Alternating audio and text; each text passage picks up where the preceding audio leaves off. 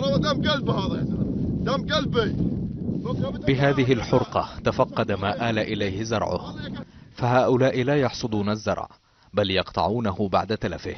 نتيجة إصابته بمبيدات تتلف الزرع رشها الجيش الإسرائيلي بمحاذاة الحدود مع قطاع غزة. بنستنى الموسم استنى عشان الواحد في الشتاء بوفر ميه بوفر دواء بوفر كل حاجة.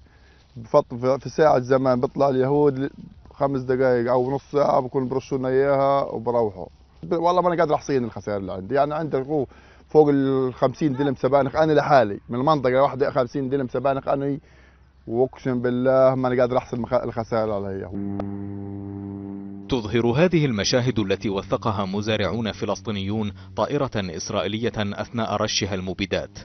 يبرر الجيش الإسرائيلي العملية بأنها ترمي إلى منع نمو نباتات بطول يؤثر على مراقبة الحدود. لكن الفلسطينيين يرونها مجرد مزاعم. كلها خضروات ورقية ناعمة لا لا يزيد ارتفاعها عن 60 سنتي.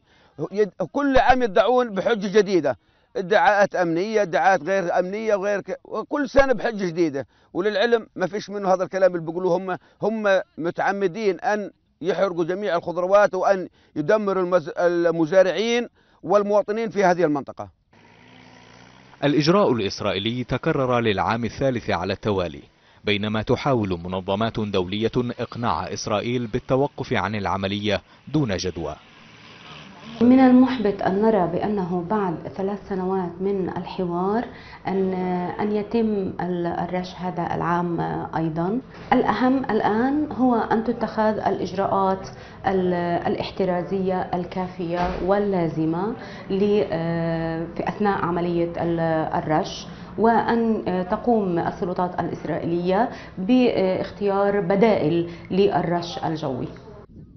إلى حين ذلك يعاود المزارعون إصلاح أرضهم من جديد.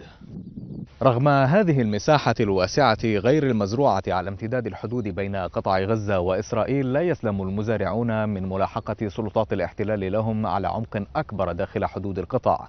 لتبدو عملية رش الأعشاب المتكررة كل موسم محملة بغايات أمنية إسرائيلية عديدة. محمد المشهراوي سكاي نيوز عربية قطاع غزة.